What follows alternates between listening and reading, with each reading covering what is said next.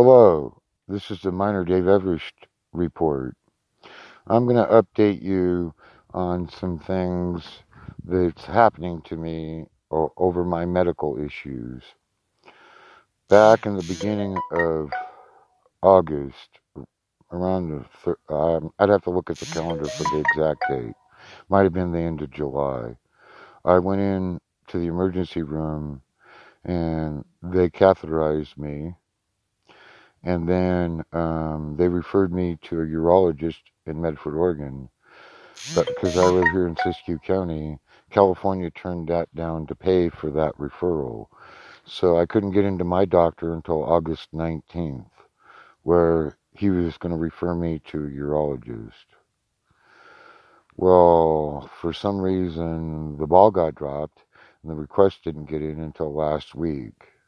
They told me if I uh, if I didn't hear from the urologist in two or three days, that I should call them. Well, all I get is a voicemail now, and so now it's coming up on two months to get a urologist, if you count the time I, I went to the hospital. By the way, in order to get my uh, uh, bag changed out, the only place I can go here to get the, a new bag is the hospital, the emergency room. My doctor can't supply me with a bag replacement at all. For whatever reason, they don't have them and they won't get them. And they don't they won't figure out how to get them for me. And that's my primary doctor, which is the Karuk Community uh, Health Clinic and it's a federal facility. Hmm, go figure. Anyway, so I'm waiting to hear from the urologist so that I can get uh, to figure out how we're going to fix me. We'll see. Uh, a month and a half and counting. You have a good day.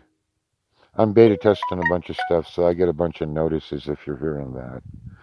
Anyways, my name is Miner Dave Everist, also known as David Dwayne Everist, my legal name. And if anybody could help, I would like you to uh, go to GoFundMe, and um, uh, you'll see that I'm trying to get a house built uh, on my property so I can uh, improve my living conditions. And um, any donation would be helpful and uh, I'll I'll share this uplink on my uh, GoFundMe account, and I'll share that back out over my uh, over my um, social networks. Have a good day, and may God be with you.